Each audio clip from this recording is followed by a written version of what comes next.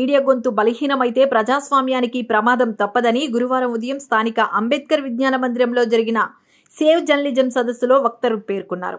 APUWJ Saamana జిల్లా శాఖలు సంయుక్తంగా ఈ సదస్సును నిర్వహించాయి. అంతకుముందు గరిమెళ్ళ ప్రెస్ క్లబ్ ఎదుట ఏపీయూడబ్ల్యూజే పతాకాన్ని ఐజేయు జాతీయ కార్యవర్గ సభ్యులు నల్లి ధర్మారావు ఆవిష్కరించారు. అనంతరం అక్కడ నుంచి నాగవలి తీరంలో ఉన్న యూనియన్ వ్యవస్థాపకులు మానికొండ చలపతిరావు విగ్రహానికి చేరుకుని పూలమాలలతో నివాళులర్పించారు. ఐదు లక్షల రూపాయల వంతున ఇస్తామని జీవో జారీ చేసిన రాష్ట్ర ప్రభుత్వం దాన్ని అమలు చేయలేదని చెప్పారు. రకరకాల అక్రిడేషన్ల పాలసీలతో ఎంతో మంది అర్హులైన జర్నలిస్టులకు అక్రిడేషన్లు మంజూరు చేయలేదని విమర్శించారు.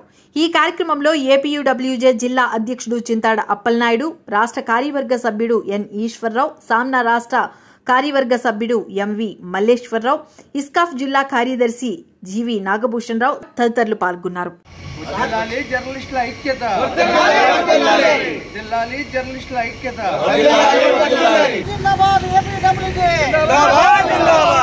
సాధిద్దాం. సాధిద్దాం.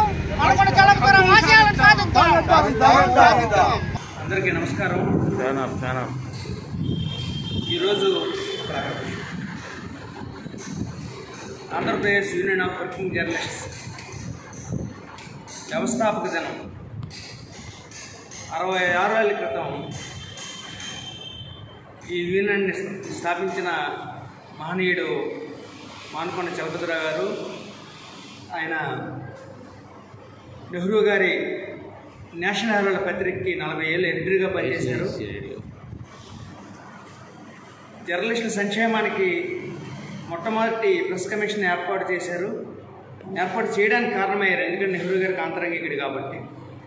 పంతొమ్మిది వందల యాభై నాలుగులో వర్కింగ్ జర్నలిస్టుల చట్టం అనేది తీసుకురావడం కూడా కారణమైన యునెస్కోలో భారతదేశం ప్రతినిధి. పద్మభూషణ్ ఇస్తామన్నా రాజ్యసభ ఇస్తామన్నా నాకొద్దు అని తిరస్కరించిన గొప్ప వ్యక్తి. అటువంటి మహనీయుడు స్థాపించిన ఈ యూనియన్ అరవై ఆరేళ్ళ నుంచి జర్నలిస్టుల సంక్షేమానికి ఎంతో కృషి చేస్తుంది.